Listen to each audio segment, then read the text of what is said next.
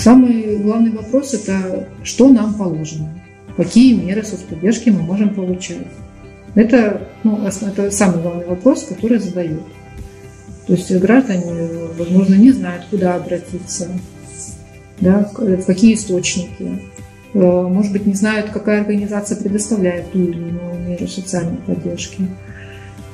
Э, ну, мы стараемся всегда быть предельно внимательными к проблемам граждан. И вот у нас и сайт есть, и телеграм-канал, и Инстаграм, да, группа ВКонтакте.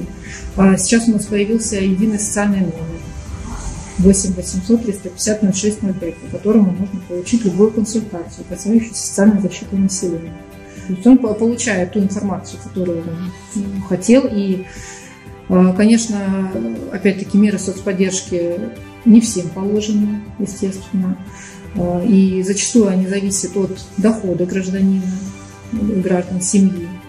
А, поэтому, если гражданин подходит под критерии определенные, конечно, ему оказывается вся возможная помощь. Мерда соцподдержки именно для э, молодых э, семей э, на рождение детей и на первого ребенка, на второго ребенка, и на третьего, и последующих детей. Очень много мер соцподдержки. Сейчас действительно соцзащита, мне кажется, помолодела. Ну, то есть выплат очень много, различных. И под различные виды доходов. То есть от самого там, низкого критерия и до приличного уровня заработной платы.